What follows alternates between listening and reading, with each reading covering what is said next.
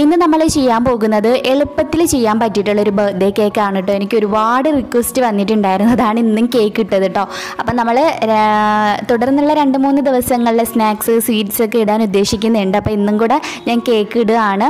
അപ്പോൾ എനിക്ക് ഒരുപാട് റിക്വസ്റ്റ് വന്നുകൊണ്ടാണ് ക്രീം ഒന്നും ഇല്ലാണ്ട് തന്നെ സിമ്പിളായിട്ട് വീട്ടിൽ ചെയ്യാൻ പറ്റിയിട്ടുള്ള രീതിയിൽ ബീറ്ററും ഒന്നും ആവശ്യമില്ല ഈ കേക്കിന് അത്രയ്ക്ക് എളുപ്പമാണ് ഇത് ചെയ്യാൻ വേണ്ടിയിട്ട്. അപ്പോൾ ഇതെങ്ങനെയാണ് ചെയ്യുന്നതെന്ന് നോക്കാം. അതിന് മുമ്പായി ഈ ചാനൽ ഇതുവരെയും സബ്സ്ക്രൈബ് ചെയ്യാത്ത ഏതെങ്കിലും കൂട്ടുകാരുണ്ടെങ്കിൽ ഒന്ന് വേഗം തന്നെ സബ്സ്ക്രൈബ് ചെയ്തേക്കണേ പ്ലീസ് നിങ്ങൾ സബ്സ്ക്രൈബ് ചെയ്യുമ്പോൾ കൂടി ഒരു കുഞ്ഞു ബെല്ലൈക്കൺ വരും അത് മറക്കാതെ ഒന്ന് ക്ലിക്ക് ചെയ്ത് ഓൾ എന്ന ഓപ്ഷനിൽ പ്രസ് ചെയ്താൽ ഞാൻ ഇതുപോലെ വീഡിയോസ് ഇടുമ്പോൾ നിങ്ങൾക്ക് കറക്റ്റായിട്ട് നോട്ടിഫിക്കേഷൻ കിട്ടും. ഫസ്റ്റ് നമുക്ക് വാനില കേക്ക് എനിക്ക് റിക്വസ്റ്റ് വന്നിട്ടുണ്ടായിരുന്നു സിമ്പിൾ ആയിട്ടുള്ള വാനില കേക്ക് വേണമെന്ന് അപ്പോൾ നമ്മൾ ഫസ്റ്റ് വാനില കേക്കാണ് ചെയ്യുന്നത്. നല്ല ഡ്രൈ ആയിട്ടുള്ള ഒരു ബൗൾ എടുക്കുക. അതിലേക്ക് ഒരു കപ്പ് പൊടിച്ച പഞ്ചസാര ചേർത്ത് കൊടുക്കുക. ഇതിലേക്ക് നമുക്ക് കാൽ കപ്പ് അളവിൽ ഓയിൽ സൺഫ്ലവർ ഓയിലോ അല്ലെങ്കിൽ ഏതെങ്കിലും റിഫൈനഡ് ആയിട്ടുള്ള ഏത് ഓയിലാണെങ്കിലും കുഴപ്പമില്ല. വെളിച്ചെണ്ണ പറ്റില്ല കേട്ടോ. അപ്പോൾ ഇത് രണ്ടും കൂടിയിട്ട് നന്നായിട്ടൊന്ന് മിക്സ് ചെയ്യാം.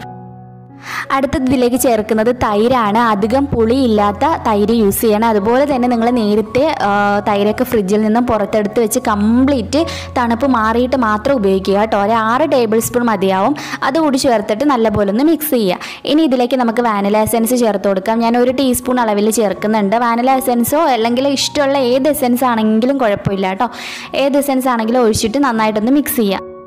ഇനി നമുക്ക് ഇതിന്റെ മുകളിലേക്ക് ഒരു അരിപ്പ വെച്ച് കൊടുക്കാം. എന്നിട്ട് മൈദയാണ് ഞാൻ എടുത്തിട്ടുള്ളത്. ഞാൻ ഇതിലേക്ക് ഒരു കപ്പ് അളവിൽ മൈദ ചേർത്തിട്ടുണ്ട്.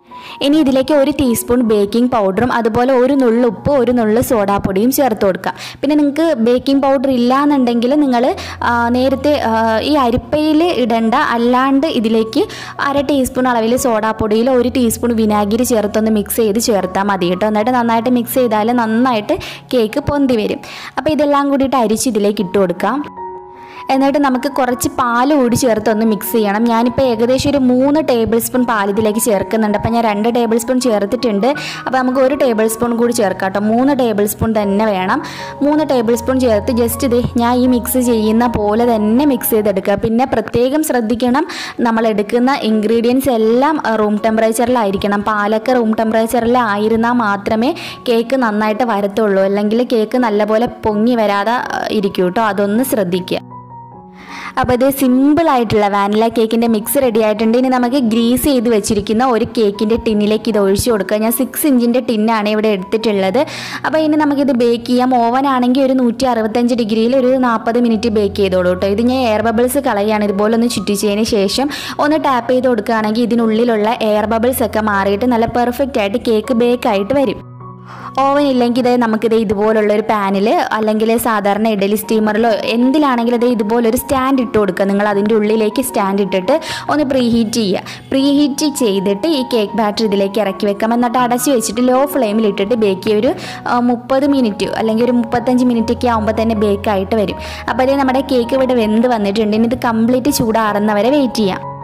കേക്ക് നന്നായിട്ട് ചൂടാറിയതിന് ശേഷം നമുക്കിത് ഇതുപോലെ കട്ട് ചെയ്തെടുക്കാം. കണ്ടില്ലേ? നല്ല സോഫ്റ്റ് ആയിട്ട് വന്നിട്ടുണ്ട്. മുട്ടയൊന്നും ഇല്ലാണ്ട് തന്നെ നല്ല പോലെ നല്ല സ്പഞ്ചി ആയിട്ട് കിട്ടിയിട്ടുണ്ട്. അപ്പോൾ ഇതൊരു സൈഡിലേക്ക് വെക്കാം. ഇനി ചോക്ലേറ്റ് കേക്കിനുള്ള പ്രിപ്പറേഷനാണ് അപ്പോൾ അതിന് വേണ്ടിയിട്ട് ഞാൻ ഒരു കപ്പ് ചൂടുവെള്ളത്തിലേക്ക് ഒരു ടീസ്പൂൺ അളവിൽ കോഫി പൗഡർ ചേർത്തിട്ടുണ്ട്. കോഫി പൗഡർ ചേർത്തിട്ട് നന്നായിട്ടൊന്ന് യോജിപ്പിച്ച് ഇതൊരു സൈഡിലേക്ക് വെക്കാം.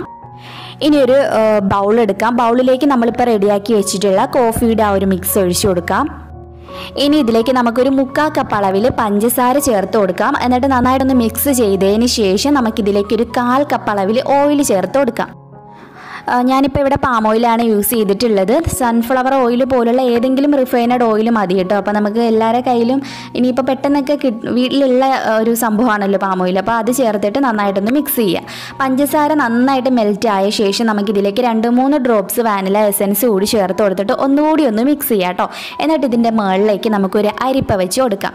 ഇതിലേക്ക് ഒരു ഒന്നര കപ്പ് അളവിൽ മൈദ ചേർത്ത് കൊടുക്കാം. അതുപോലെ തന്നെ ഞാൻ ഇതിലേക്ക് ഒരു കാൽ കപ്പ് അളവിൽ കൊക്കോ പൗഡറാണ് യൂസ് ചെയ്യുന്നത്. ഇനി ഇതിലേക്ക് നമുക്ക് ഒരു ടീസ്പൂൺ അളവിൽ ബേക്കിംഗ് പൗഡർ ചേർത്ത് കൊടുക്കാം. ബേക്കിംഗ് പൗഡർ ഇല്ലെങ്കിൽ സോഡാപ്പൊടി പ്ലസ് വിനാഗിരി ചേർത്ത് കൊടുക്കാം കേട്ടോ അത് അരിപ്പയിലല്ല അല്ലാണ്ട് ചേർത്ത് കൊടുക്കണം. പിന്നെ ഞാൻ ഇതിലേക്ക് ഒരു നുള്ളു ഉപ്പും ഒരു നുള്ളു സോഡാപ്പൊടിയും കൂടിയിട്ട് ചേർക്കുന്നുണ്ട്.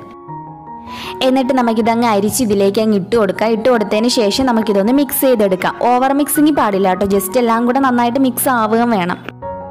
നല്ലപോലെ കട്ടയൊന്നും ഇല്ലാണ്ട് മിക്സ് ചെയ്യുക കേട്ടോ നമുക്ക് ബീറ്റർ ഉണ്ടെങ്കിൽ ജസ്റ്റ് ബീറ്റർ ഒന്ന് വെച്ചിട്ട് ഒന്ന് ബീറ്റ് ചെയ്തെടുത്താലും പെട്ടെന്ന് തന്നെ മിക്സ് ആയിട്ട് കിട്ടും. ഇത് നമുക്ക് ഒരു സിക്സ് ഇഞ്ചിന്റെ കേക്ക് ടിന്നിലേക്ക് ഒഴിച്ചു കൊടുക്കാം.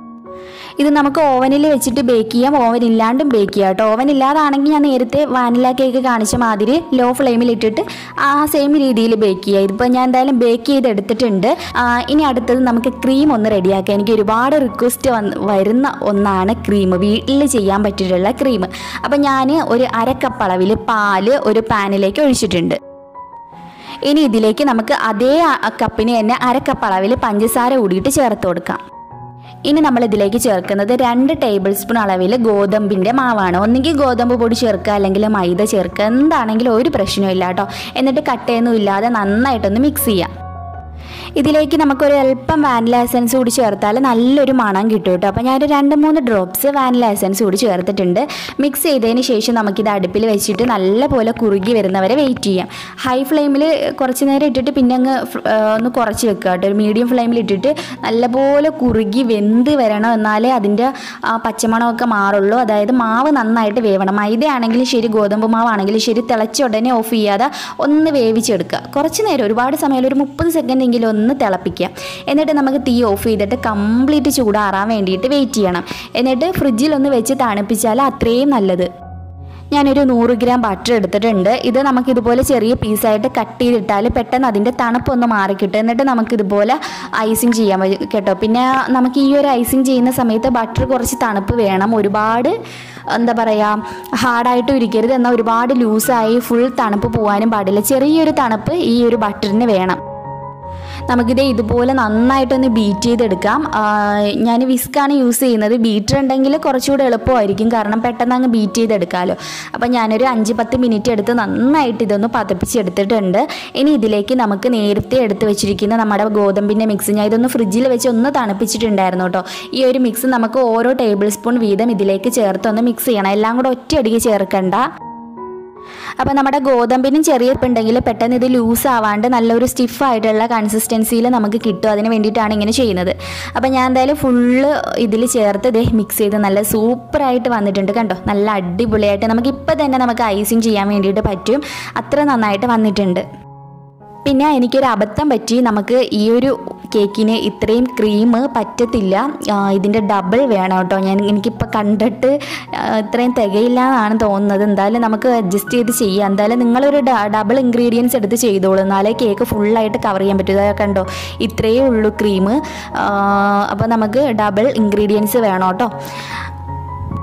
ഇനി നമ്മൾ സാധാരണ ഐസിങ് ചെയ്യുന്ന പോലെ ഐസിങ് ചെയ്യുക. ഷുഗർ സിറപ്പ് ഒഴുക്കി അറിയാമല്ലോ ഷുഗർ സിറപ്പൊക്കെ ഉണ്ടാക്കാൻ വേണ്ടിയിട്ട്.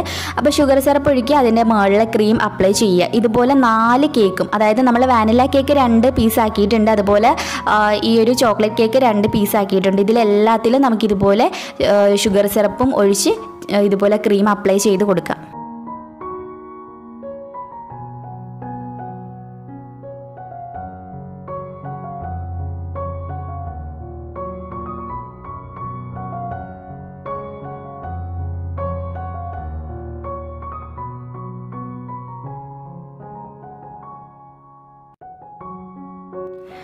അപ്പം ഞാൻ അത് സൈഡിലും ഏറ്റവും ടോപ്പിലൊക്കെ ആയിട്ട് നമ്മുടെ ക്രീം അപ്ലൈ ചെയ്തിട്ടുണ്ട്. മാക്സിമം നമ്മളെ കൊണ്ട് പറ്റുന്ന വിധത്തിൽ ഒന്ന് ഫിനിഷ് ചെയ്തെടുക്കുക കേട്ടോ. ഇതുപോലെയുള്ള കാർഡാണെങ്കിൽ നന്നായിട്ട് തന്നെ നമുക്ക് ഫിനിഷ് ചെയ്തെടുക്കാൻ വേണ്ടിയിട്ട് പറ്റൂ കേട്ടോ. നന്നായിട്ട് തന്നെ നമ്മുടെ വിപ്പിംഗ് ക്രീം ചെയ്യുന്ന പോലെ തന്നെ ഈ ക്രീമും നമുക്ക് പറ്റൂ കേട്ടോ. നന്നായിട്ട് വരും. അപ്പോൾ ഇത്രയേ ഉള്ളൂ. എന്താ ഇനി ചെയ്യേണ്ടതെന്ന് വെച്ചാൽ നേരെ ഫ്രിഡ്ജിൽ വെച്ച് ഒന്ന് തണുപ്പിക്കുക. ഞാനൊരു പത്ത് മിനിറ്റോളം ഒന്ന് ഫ്രിഡ്ജിൽ വെച്ചിട്ട് എടുത്തതാണ് കേട്ടോ. ഇനി നമുക്കിത് ഈ ഒരു കോണായിട്ട് ഇത് ഇതുപോലെ വെച്ച് കൊടുക്കണം. ഒരു ഡിസൈൻ ചെയ്യുകയാണ് കേട്ടോ. ഒന്ന് ആരെങ്കിലും കൊണ്ട് പിടിപ്പിക്കുന്നത് നന്നായിരിക്കും. ഇല്ലെങ്കിൽ ശരിയാവത്തില്ല. ഇതുപോലെ കോണായിട്ട് വെച്ചിട്ട് ഒരു ഭാഗത്ത് ഞാൻ ചോക്ലേറ്റ് ഗ്രേറ്റ് ചെയ്ത വൈറ്റ് ചോക്ലേറ്റും ഡാർക്ക് ചോക്ലേറ്റും ഇട്ട് ഇതൊന്ന് ഡെക്കറേറ്റ് ചെയ്ത് എടുക്കുകയാണ്. ഇതുപോലുള്ള ഡിസൈൻ തന്നെ ചെയ്യണം എന്ന് നിർബന്ധമൊന്നും ഇല്ല കേട്ടോ എന്നാലും സിമ്പിൾ അല്ലേ? വളരെ സിമ്പിളായിട്ട് എല്ലാവർക്കും ചെയ്യാൻ പറ്റിയിട്ടുള്ള റെസിപ്പി ആയതുകൊണ്ട് ഞാൻ കാണിച്ചതാണ്. എനിക്ക് ഒരുപാട് റിക്വസ്റ്റ് രണ്ട് മൂന്ന് ദിവസം കൊണ്ട് വരികയാണ്. അപ്പോൾ അതൊക്കെ ഒന്ന് റെഡിയാക്കി ഞാൻ ഫ്രിഡ്ജിൽ വെച്ച് വന്നിട്ട് ഞാൻ കുറച്ച് ബദാമും ഡാർക്ക് ചോക്ലേറ്റിന്റെ ചിപ്സും കൂടിയിട്ട് ഒന്ന് മിക്സ് ചെയ്തിട്ട് ഈ സൈഡിലൊക്കെ ആയിട്ടൊന്ന് വെച്ച് കൊടുക്കുക കേട്ടോ ചുമ്മാ ഒരു ഡെക്കറേഷന് ഞാനൊരു ഭംഗിക്ക് വെച്ച് കൊടുക്കുകയാണ്. നിങ്ങൾക്ക് എന്താണോ ചെയ്യാൻ ആഗ്രഹം അതേ ഡെക്കറേഷനൊക്കെ നമുക്ക് കേക്കിൽ വെക്കാം. ഇങ്ങനെ തന്നെ ചെയ്യണമെന്ന് യാതൊരു നിർബന്ധവും ഇല്ല അപ്പോൾ വീഡിയോ ഇഷ്ടപ്പെട്ട് ഇഷ്ടപ്പെട്ടിട്ടുണ്ടെങ്കിൽ ഉറപ്പായിട്ട് ഒന്ന് ലൈക്ക് ചെയ്തിട്ട് പോവുക. അതുപോലെ നിങ്ങളുടെ ഫ്രണ്ട്സ് ആൻഡ് ഫാമിലിക്ക് പറ്റുന്നവർ വീഡിയോ ഷെയർ ചെയ്ത് കൊടുക്കണം. പിന്നെ ഇതുവരെയും സബ്സ്ക്രൈബ് ചെയ്യാതെ മടിച്ച് നിൽക്കുന്ന ഏതെങ്കിലും കൂട്ടുകാരുണ്ടെങ്കിൽ വേഗം സബ്സ്ക്രൈബ് ചെയ്ത് കൂടെ വരുന്ന ബെല്ലൈക്കൺ മറക്കാതെ ഒന്ന് ക്ലിക്ക് ചെയ്ത് വെക്കുക കേട്ടോ. അപ്പോൾ നോട്ടിഫിക്കേഷൻ പ്രോബ്ലം ഉണ്ടെങ്കിൽ അതൊന്ന് ശ്രദ്ധിക്കുക. രണ്ട് മൂന്ന് വീഡിയോസ് തുടർന്ന് കണ്ടാൽ മാത്രമേ നിങ്ങൾക്ക് നോട്ടിഫിക്കേഷൻ പിന്നെ കിട്ടുള്ളൂ. പിന്നെ നിങ്ങൾ ഇപ്പോൾ കണ്ടുകൊണ്ടിരിക്കുന്ന വീഡിയോയ്ക്ക് തൊട്ട് താഴെ ഒരു സുമീസ് വ്ളോഗ് എന്ന് എഴുതിയിട്ടുണ്ടാവും. അതിന്റെ അടുത്തൊരു ഐക്കൺ ഉണ്ട്. അവിടെ ഒന്ന് പ്രസ് ചെയ്യുകയാണെങ്കിൽ ഈ ചാനലിലുള്ള എല്ലാ വീഡിയോസും നിങ്ങൾക്ക് താഴോട്ട് നോക്കിയാൽ കാണാൻ പറ്റും കേട്ടോ അപ്പം ഞാൻ ദേ ഫുള്ളായിട്ട് ഒന്ന് റെഡിയാക്കി എടുത്തിട്ടുണ്ട്. എന്നിട്ട് ഫ്രിഡ്ജിൽ വെച്ചിട്ട് തണുപ്പിച്ച് എടുത്തിട്ട് വേണം കട്ട് ചെയ്യാൻ. എന്നാൽ മാത്രമേ കേക്ക് നന്നായിട്ട് ക്രീമൊക്കെ അതിൽ പിടിച്ച് നമുക്ക് നന്നായിട്ട് കട്ട് ചെയ്യാൻ പറ്റുള്ളൂ. അപ്പോൾ ചോക്ലേറ്റ് മുകളിലൊന്ന് കട്ട് ചെയ്തിരിക്കുകയാണ് എന്തായാലും നമുക്കൊന്ന് മുറിക്കാം. അപ്പോൾ എന്തായാലും വീഡിയോ നിങ്ങൾക്ക് ഒരുപാട് ഇഷ്ടപ്പെട്ടു എന്ന് പ്രതീക്ഷിച്ചു കൊണ്ട് തന്നെ നമ്മൾ വീഡിയോ ഇവിടെ വൈൻഡപ്പ് ചെയ്യാണ്. ഇനി രണ്ട് മൂന്ന് ദിവസത്തേക്ക് നമുക്ക് കേക്ക് ഒന്ന് വിട്ട് പിടിക്കണം. അപ്പോൾ കേക്ക് ഒന്ന് വിട്ട് പിടിച്ച് കുറച്ച് റെസിപ്പീസൊക്കെ ഞാൻ അപ്ലോഡ് ചെയ്യുന്നുണ്ട് കേട്ടോ. ഒരുപാട് റിക്വസ്റ്റ് വരുന്നുണ്ട്. എല്ലാവരും ചോദിച്ച റെസിപ്പീസൊക്കെ ഞാൻ അപ്ലോഡ് ചെയ്യുന്നാലും ഇടയ്ക്കിടയ്ക്ക് കമന്റ് ബോക്സിൽ പറഞ്ഞുകൊണ്ടിരിക്കുക കേട്ടോ. എന്നാലേ എനിക്ക് ഓർമ്മ വരുള്ളൂ. അപ്പോൾ അതൊന്ന് ശ്രദ്ധിക്കുക. ഒരുപാട് പേരാണ് ഓരോ റെസിപ്പീസ് ചോദിക്കുന്നത്. അതുകൊണ്ടാട്ടോ. അപ്പോൾ കമന്റ് ബോക്സിൽ ഇടയ്ക്കിടയ്ക്ക് എന്ന് ഓർമ്മിപ്പിക്കണേ. നിങ്ങൾക്ക് വേണമെന്ന റെസിപ്പീസ് അപ്പോൾ എന്തായാലും ഈ ഒരു വീഡിയോ നിങ്ങൾക്ക് ഒരുപാട് ഇഷ്ടപ്പെട്ടു എന്ന് പ്രതീക്ഷിച്ചുകൊണ്ട് തന്നെ ഞാനിവിടെ വീഡിയോ വൈൻഡപ്പ് ചെയ്യാണ്. നല്ല ടേസ്റ്റിയാണ് മസ്റ്റായിട്ട് ട്രൈ ചെയ്ത് നോക്കുക. എന്തായാലും നമുക്ക് പുതിയൊരു റെസിപ്പി വീഡിയോയുമായിട്ട് ഉടനെ തന്നെ കണ്ടുമുട്ടാം കേട്ടോ അതുവരേക്കും ബൈ ബൈ ടേക്ക് കെയർ